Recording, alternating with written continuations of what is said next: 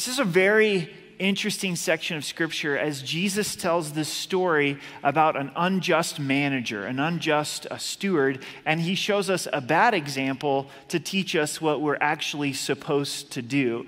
And sometimes that's a great lesson, isn't it? He takes the, some attributes out of this unjust steward and says, I actually want you to apply this to areas of finances, to areas of faithfulness. And so I, I think that this section of scripture is just absolutely fascinating. Jesus gets to our hearts and says that we've got to have one master. We can't serve God and money, it's going to be one or the other. Verse 1 He also said to his disciples. Always important to know who Jesus is speaking to. It helps us with interpreting the passage. He's speaking to his disciples. Remember last week, Luke chapter 15, with the prodigal son, Jesus was directing that towards the scribes and the Pharisees. So, so this is a teaching to Christ's followers. It is interesting, by the time we get through the text, we'll see there's a few Pharisees that began to listen as well. There was a certain rich man who had a steward, and an accusation was brought to him that this man was wasting his goods. So, this man is so wealthy that he's able to hire someone to look over his affairs, to look over his house, look over his ranch, his farm, his goods, his business, and the steward's running everything. He's, he's the manager and gets news that his manager is actually wasting the goods, is squandering the goods. So he called him and said to him, What is this that I hear about you? Give an account of your stewardship, for you can no longer be a steward. He loses his job, he loses his position because of his unfaithfulness. In verse 3, then the steward said within himself, What shall I do? For my master is taking the stewardship away from me. I cannot dig, I'm ashamed to beg this weight of realizing that he's losing his job. What in the world am I going to do? He's saying, I can't dig. I'm not going to do manual labor. He says, I'm not going to beg. I'm too proud to beg. He's thinking and scrambling, how am I going to provide for my needs? Maybe you've been through that stress of losing your job unexpectedly getting laid off or even getting fired. Pack up your stuff. Today's your, your last day. So here's his plan for survival. I've resolved what to do that when I'm that when I am put out of the stewardship, they may receive me into their houses. His plan involves making friends. If I make some friends, I'm not going to be homeless. There's going to be those that are going to welcome me into their house. So he called every one of his master's debtors to him and said to the first, How much do you owe my master? And he said, A hundred measures of oil. His master has loaned money, loaned resources out to, to people. Says, I want you to then let me know how much you owe. And the first one owes 100 measures of oil. This is 875 gallons, roughly, of oil, 3,200 liters, lots of oil. So he said to him, Take your bill and sit down quickly and write 50. That's quite the savings, isn't it? Debt cut in half. Imagine Visa called you on your credit card. We're feeling benevolent. We want you to cut you a deal, not lying, not compromising your integrity, but being wise with money, taking your present position and securing our e- eternal future. And Jesus clears this up in the next verse. And I say to you, make friends for yourself by unrighteous mammon. Mammon's another word for money or wealth, that when you fail, they may receive you into an everlasting home. Walvoord and Zuck puts it this way in the Bible Knowledge Commentary use material things for future spiritual benefit. Kent Hughes, what is an inexpensive inescapably clear here is that our wealth and possessions are to be used to win eternal friends. This unjust steward, here he was wise in order to have temporal friends, and we're to take money and unrighteous money in the sense that money is not holy in and of itself. It's not evil in and of itself either. It's, it's a tool, but use money, use resources in order to secure an eternal impact. Now, it's interesting how the world, unbelievers, can be shrewd with money for the purpose of monetary gain. And Jesus is saying, I want you as disciples to be shrewd with money, not necessarily for earthly gain, but for eternal impact. It reminds me of what Jesus said is to be innocent as doves, but to be as wise as a serpent. Well, what does it mean to be wise as a serpent? What does it mean to, to be shrewd? And a lot of times for us as believers, we look at the physical, material world as being unspiritual, saying, I really don't want to enter into that. And Jesus is saying, no, enter into it. And he's going to challenge us to, to be wise with finances and then to use those finances to invest in the kingdom to see eternal impact. Maybe there was someone in your life that invested physical resources that impacted you spiritually. And you go, wow, that, that was such a blessing. I, I'm on a receiving end of that. Pablo sharing about the impact that has taken place with people adopting Light Shine kids in that Tarahumara community. They're on the receiving end of that. Someone invested $30 a month, and I got to know Christ as my Savior, and my life has been impacted and, and changed. And that's what Jesus is encouraging us. Hey, be shrewd with money. Actually, even be more shrewd than those that don't know Christ as their Savior, not for the purpose of greed, but for the purpose of investing in the kingdom. Verse 10 He who is faithful in what is least is faithful also in much, and he who is unjust in what is least is unjust also in much. We're going to tackle some excuses for unfaithfulness. We, we've got excuses for unfaithfulness. Are you ready? The first is this it's too little. It's too little. I really don't have to be faithful or just in this because it's just too little. This is a dead end job. It's not going anywhere. No one's paying attention. No one really cares if I'm doing 110% or I'm doing 20%. It has no purpose, it has no meaning. It's too little. I'm not going to be faithful in it. It's just 20 bucks. What does it matter? 20 bucks? That's like two bucks. What it used to be 10, two bucks 10 years ago is 20 bucks today. It's just 20 bucks. Why do I got to worry about 20 bucks? It's 20 minutes. What's the big deal if it's 20 minutes or two hours and I've been surfing on my phone accomplishing absolutely nothing? It's just 20 minutes, right? And Jesus says, no. If you're faithful with the little, you're going to be faithful with much. But if you're unfaithful with little, you're going to be unfaithful with much. Jesus tests our character with giving us opportunities that seem meaningless to us. The same's true in our integrity. If you're just with a little, you're going to be just with a lot. If we choose to walk in integrity in what we would consider to be the little things, we will walk in integrity in the bigger issues as well. There's a lot of examples of this in Scripture. We see David being a man who was faithful in the little things. He didn't start off as king, he started off as shepherd.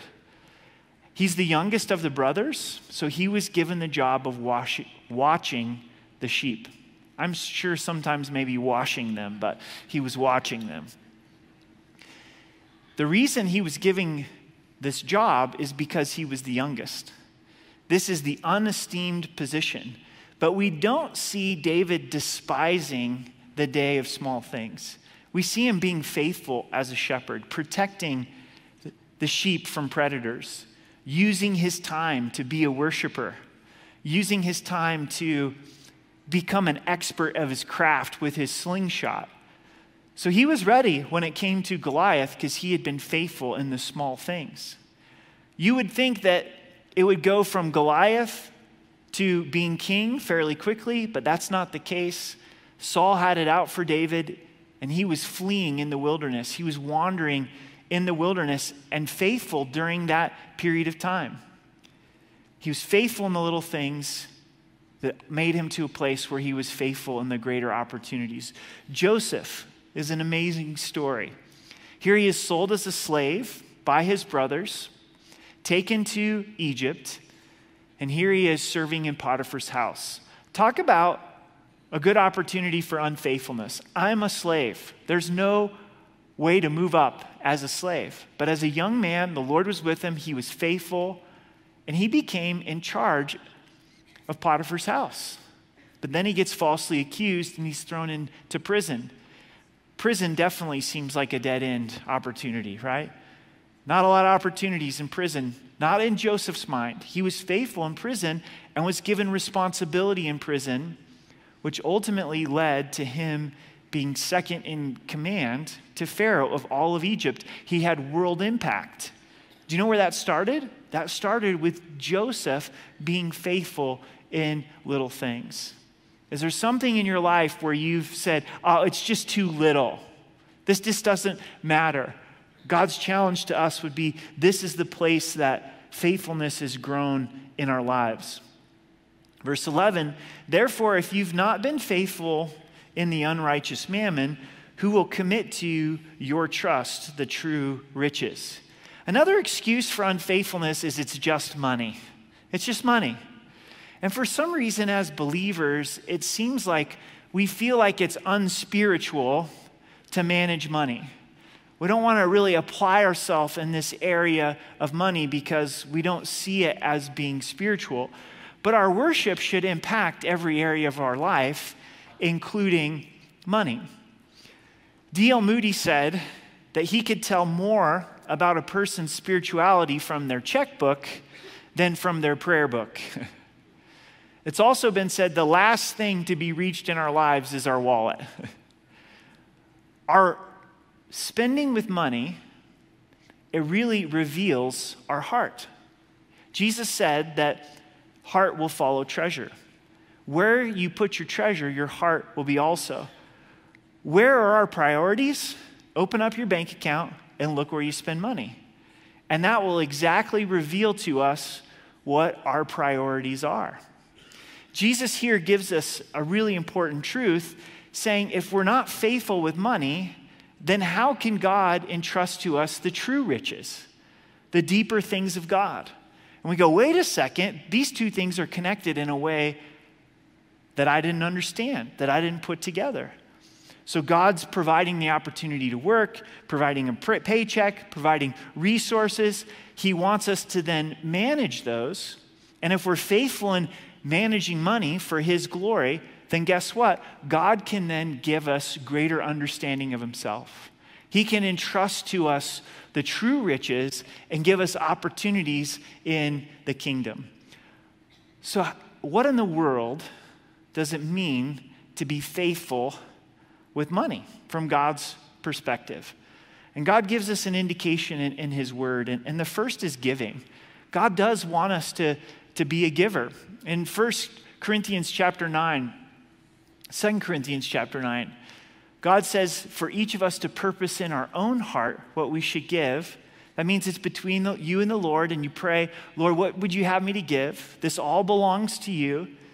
And then to give hilariously, to give cheerfully, to give in a spirit of joy of, God, thank you so much for saving me. Thank you for forgiving me. Thank you for adopting me as your son and daughter. We're not giving, trying to earn or deserve God's favor, but we're responding to the gospel. We're responding to what he has done in our lives, and we've purposed in our heart, said, Oh, Lord, I, I long to, to be able to give.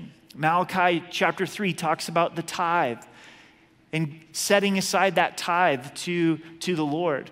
And God actually says, Test me in, in this way. Now, I want you to understand God's not broke and he doesn't need your money. We believe that here at, at RMC. We've got tithe boxes in the back, and you can give online, but we trust that God's going to be faithful to provide for his church, and he's done that. So don't think that somehow God's work's going to suffer if you don't give. But God wants to free our hearts from greed, doesn't he? I've found that giving in my heart is the most healthy thing because my heart has this tendency to move toward, towards greed. It's God's way of growing kids. So when we think of being faithful with money, we first look at, at giving. And then we look at something called a budget. Oh man, are we talking about this in church? did I really come on a Sunday morning at nine to hear about a, a budget? Well, what, what in the world's a budget? You look at income, put down all sources of income that God has provided, and then you put down expenses. What are those expenses? And there's a lot of tools that you can use for this, but I found that a piece of paper and a pencil works really well. Like, like just put it down there. Don't make this this complicated, but actually write down all of the expenses, including Disney Plus, you know, Amazon Prime, Netflix, all those subscriptions, Spotify, like what are all the where where is all of this money going? And then see if the two line up. Start to look at the income and the expenses and go, hey, wait a second, the two really aren't lining up.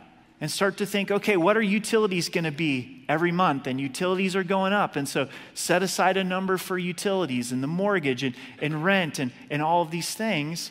And then as you begin to put together a budget, say, Lord, give me the help and the strength to then live inside of this budget.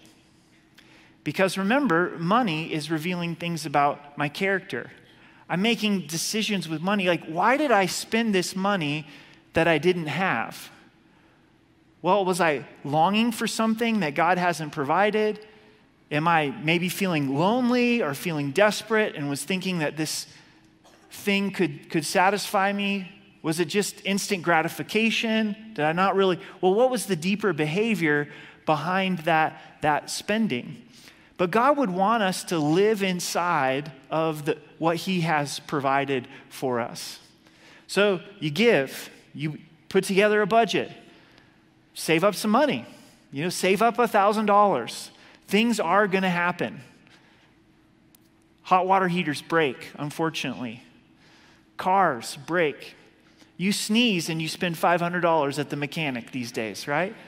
So it's like, okay, I'm just living paycheck to paycheck. I, I, need to save some, some money. And you pray about it. Say, Lord, would you help me to be disciplined to be able to start to save up some money?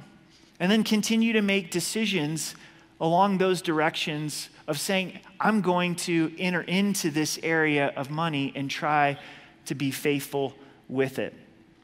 This is what I'm discovering in my heart is money is actually that check engine light to where my heart is at. Just like reading the word, my desire ebbs and flows, and my desire for giving ebbs and flows. I'd love to stand before you this morning and say, I always love to read my Bible, and I always love to give. But both of those are not true. There's times where I absolutely love to read my Bible. I have seasons where it's just absolutely delight. I can't wait to read the word. And then there's other times where in my flesh, I'm discouraged. I don't feel like reading the word, and it's discipline. It's discipline that gets me into the, the word of God. And I'm kind of ebbing and flowing at different times in that journey with the word. And it's the same with giving. Sometimes my heart is right, and I'm in that place of being a cheerful giver with the tithe. And then there's other times where I'm kind of grumpy about it. Here we go, you know, God wants me to give. This is the way He protects my heart from, from greed. And when my heart gets to that place with, with giving, if I'm paying attention, that's the check engine light. And if I really start to examine where my heart's at, it's not in, in a great place. And so the Lord then provides some conviction, and it's usually this conversation with the Lord saying, Hey, Eric, I don't need your money. If you're going to be grumpy about it, keep it. You know, I want you to be a, a cheerful giver.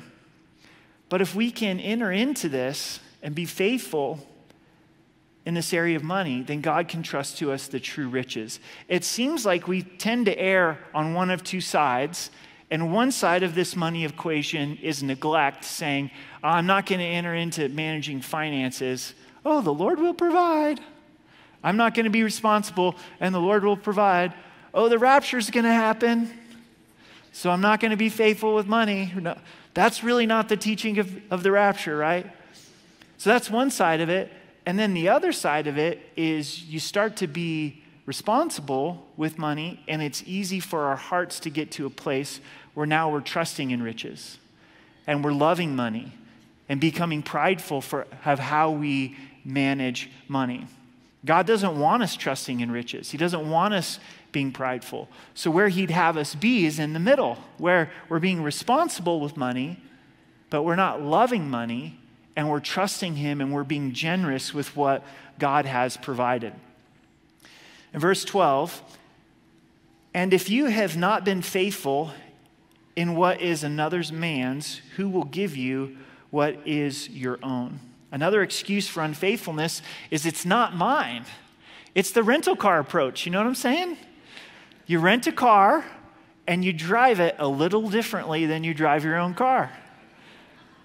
And your spouse or your coworker that's with you on that work trip says, Hey, what are you doing? You're like, It's a rental, right? It's a rental. I'm going to push this thing. I'm going to see what this car can do.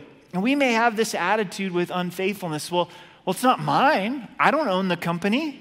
I just, I just work here.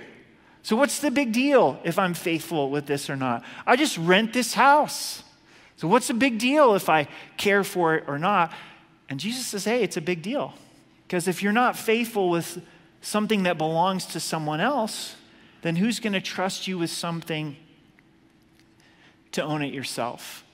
I think a lot of times in our character, we think there's just going to be this magical shift. Well, if I had a bigger opportunity, then I'd be faithful. God says, no, you need to be faithful where you're at. Well, if I owned my own stuff, then I'd really be faithful. I'm tired of working for the man. I want to own my own company. I, am tired of renting. I want to own. And, and God says, no, be faithful right where you're at, even if it belongs to someone else. And Jesus really gets to the heart of the issue in verse 13. No servant can serve two masters, for either he will hate the one and love the other, or else he'll be loyal to the one and despise the other. You cannot serve God and mammon. Another excuse for unfaithfulness is I can serve two masters. I can serve two masters. I can serve Jesus, I can love Jesus, and I can love money. The two of those can, can go together. And Jesus is challenging the disciples to be faithful with money, to invest in eternal good, but is now warning them, saying, Don't let money become your master. Isn't money a cruel master? Really serves false advertisement. Money and possessions cannot satisfy. God wants us serving Him. Are we serving Him? Or are we serving money? Are we trying to serve both? In the Old Testament, Jacob, it's a fascinating story to read in Genesis, the first book of, of the Bible. But he ends up marrying two sisters. Bad idea. Men don't have two wives, and especially don't marry two sisters. I've never met a lady that wanted two husbands. You know what I'm saying? There's been, I've never met a woman that's like, yeah, I really would like two husbands. They're like, the one I've got is way too much work. Why would I have another? But Jacob's got two wives, and of course, he's going to love one more than the other. And he loves Rachel. And this causes a lot of tension in the marriage. And Jesus is saying, This is how you're wired. This is how he's created us. We're going to have one master. And is God our master or is money the master? Do we make decisions based off of money or do we make decisions based off of I'm serving God?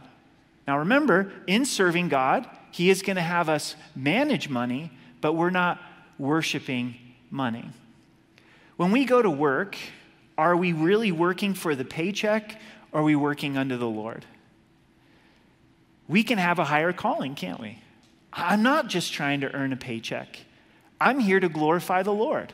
I'm here to serve the Lord. I want to do this wholeheartedly unto the Lord. And a benefit out of this is that I get a paycheck. But there's a real heart check here to say, Am I serving God or am I serving money? Remember what Paul wrote to Timothy, and he said, The love of money is the root of all kinds of evil. Not money in and of itself, but the love of money. As we fall in love with money, then that leads to doing all kinds of evil. This is where the Pharisees come in in verse 14. Now, the Pharisees, who were lovers of money, also heard all of these things and they derided him or railed him. Where did the Pharisees get off track? Originally, they set themselves apart to be closer to God, but over time, they stopped loving God and they started loving money. Their master was money instead of God.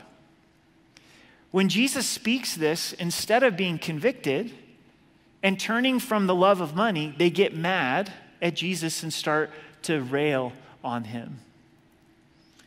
In verse 15, and he said to them, You are those who justify yourselves before men, but God knows your heart. For what's highly esteemed among men is an abomination in the sight of God. Do you think the Pharisees were faithful with managing money? Yes, I think that they were. But what went wrong? Their heart went wrong. So they swung too far over here to the right, where they were faithful managers, but they had the wrong heart, where they're loving money, they're trusting in money instead of loving God and trusting in God. And notice it got them esteem among men. Being lovers of money and being good at managing money got them a lot of attaboys from society. During the time of Jesus, they erred in their thinking and they thought if you had a lot of money, that must mean that you were righteous. If you're righteous, then that resulted in wealth. They were the first teachers of the false doctrine of prosperity, the prosperity teaching. Well, if you love God and you walk in righteousness, then you're going to be blessed with all kinds of, of prosperity. So people looked at the Pharisees with this cultural mindset well, well, they must be right with God. They must be highly esteemed because they have a lot of money. But God, knowing their hearts, said, No, this is an abomination to me. This is an abomination to me.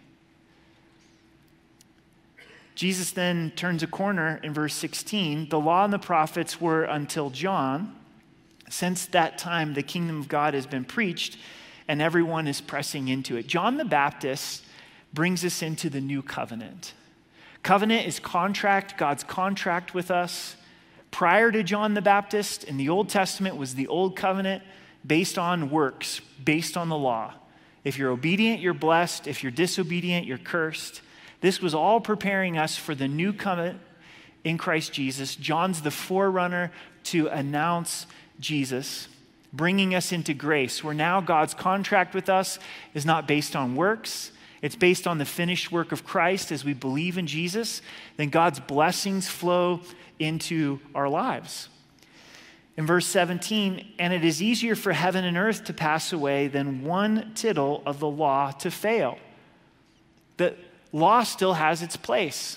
The law is our schoolmaster to drive us to Christ, to show us our need for a Savior.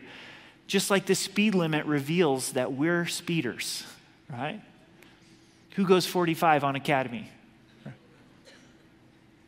Speed limit reveals that we're lawbreakers. The law reveals that we're lawbreakers. We won't even talk about powers, okay? It's just a crazy mess out there on, on powers. In verse 18, whoever divorces his wife and marries another commits adultery, and whoever marries her who is divorced from her husband commits adultery. Why would Jesus go into this at this point? He's saying, look, we're free from the law, but that doesn't mean that God hasn't called us to holiness. That his standard of holiness is still in place, the motivation is different. The reason for holiness under the old covenant is I've got to try to earn or deserve God's favor.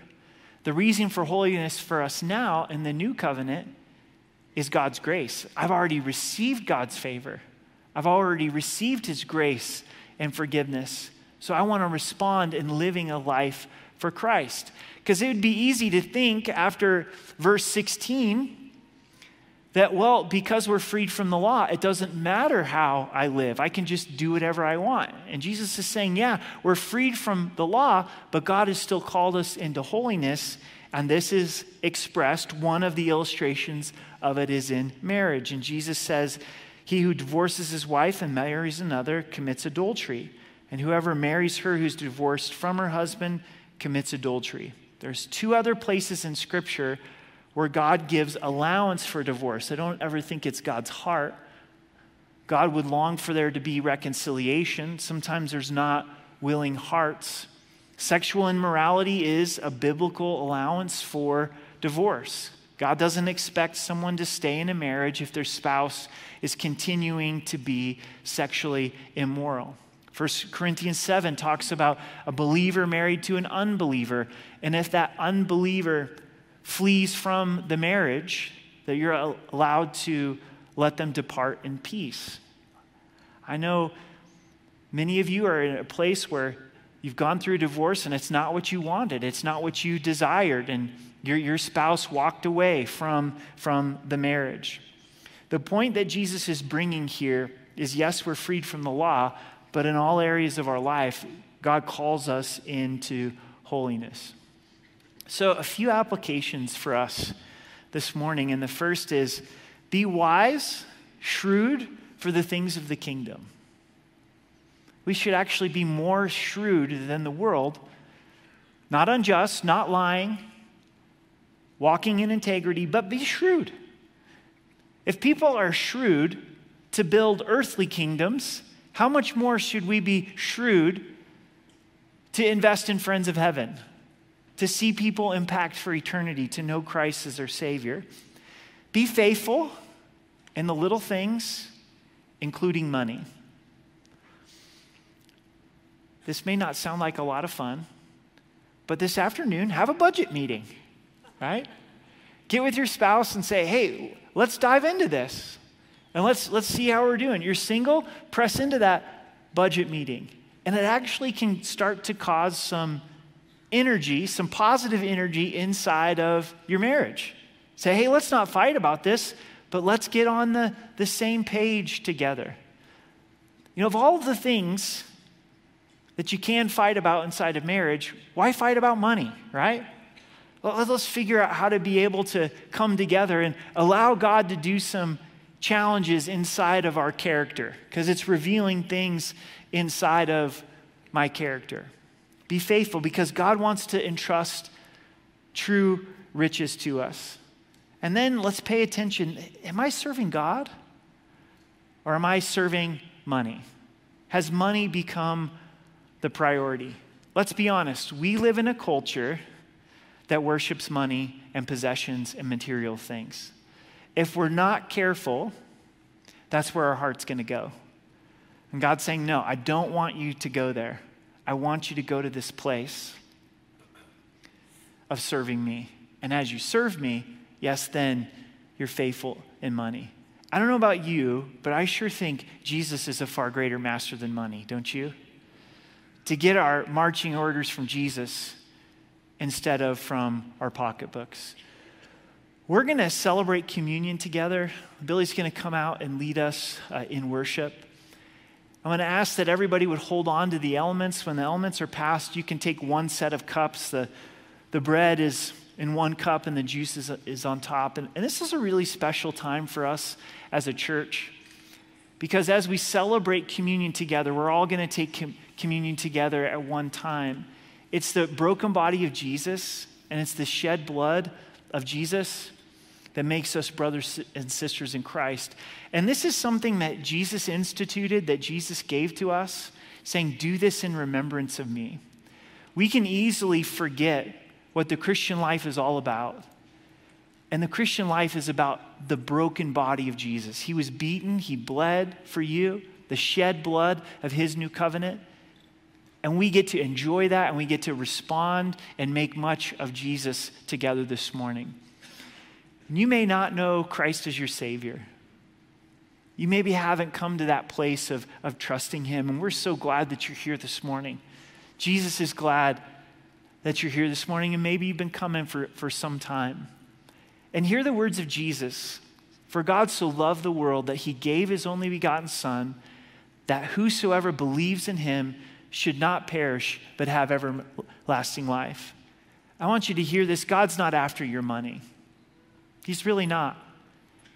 He's sufficient in and of himself. You know what he's after? He's after your heart. And he gave. He sent his son, and he gave his son for you to die for your sins, to die for mine. And in order for us to receive salvation, to receive forgiveness, we've got to turn from sin. Turning from sin is acknowledging our sin, having a change of mind about our sin. God, I have sinned before you. And to believe that Jesus is God, that he died for our sins and rose again. And you might be saying, well, why is this so important? Because if we reject Christ over the course of our lifetime, the Bible teaches that we'll be eternally separated from God for eternity. Hell. God doesn't want anything to perish, He wants you to become His child. So I'm going to give you an opportunity right now to respond, to raise your hand before the Lord. I'm going to lead you in a simple prayer, but if this makes sense to you and you want to trust Christ as your Savior, as we pray, if you'd raise your hand to cry out to Jesus, Jesus, save me. So let's pray together. Jesus, we invite you right now into this time of remembering you in communion. Jesus, would you communicate your love to hearts? If you'd like to receive Christ your Savior, would you raise your hand and just leave it up? Praise God. See hands in the back. Praise the Lord. Anybody else this morning? Praise the Lord. Awesome. If you'd like to receive Christ, just right now, raise your hand. For those that are watching online, Jesus sees you. Raise your hand to the Lord. Pray this with me. Jesus, I believe that you're God, that you died for my sins and rose again. I repent of my sin and receive your grace and forgiveness. Thank you for saving me. Thank you for forgiving me. I invite you to be the Lord of my life. You can put your hands down. Father, we know from your word that you rejoice when each person comes to you. So we rejoice. The angels in heaven rejoice. God, you're so good. The greatest miracle has just taken place. We pray that you would bless those that have trusted you for salvation. In Jesus' name, amen.